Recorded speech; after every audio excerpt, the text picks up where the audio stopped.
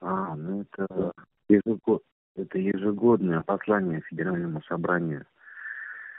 Но дело в том, что пока ждем, ждем здесь, сил не хватает, понимаешь? Здесь, здесь в Москве проблема. Здесь проблема, здесь... Ну, я в себе до этого рассказывал, наверное. Кириллу рассказывал, не знаю, делился он с тобой, нет.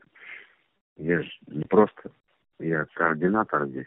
У вас там флаги есть с, Георгиев, с георгиевской лентой? Ну, вот это наше знание здесь. Мы подняли его еще в 2012 году. Мы знали, что будет война на Украине. Ну, народ готовили. Народ не хотел ничего менять. И сейчас не хочет ничего менять. А проблема здесь, потому что на поле боя мы не можем их победить. Как бы это ни казалось.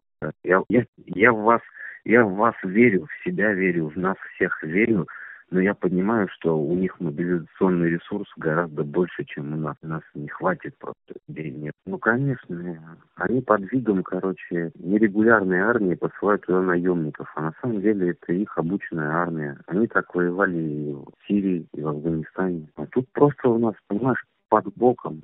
Понимаешь, все, все наши успехи на фронте а какие-нибудь Абрамовичи тут же нивелируют, понимаешь? Мы же под Киевом были, ну, а сейчас мы что, отступили? Отступили. Почему отступили? Потому что эти в Турцию поехали и сдались наши интересы. Вот и все. Они, они здесь власть в России. И пятая колонна, вот пятая колонна и вот эти вот военкоры, блогеры, Вычма их там развивать. Короче, надо лозунги поднимать за отечество, что вы, вы там что делаете? Вы там отечество освобождаете, понимаешь? А этого лозунга у нас здесь на административном ресурсе не звучит. У нас Путин только говорил, что у нас есть Отечество, да, но он пока тоже не может это впрямую сказать, потому что он сразу получит здесь контрудар от пятой колонны. Пока мы двигаемся по американскому плану, то есть это их план. Их план – затяжная война э, на Украине до последнего как они говорят. Но на самом деле цель их очень ясна. Это разделение Российской Федерации, уничтожение. Мы потому что исторически их противник.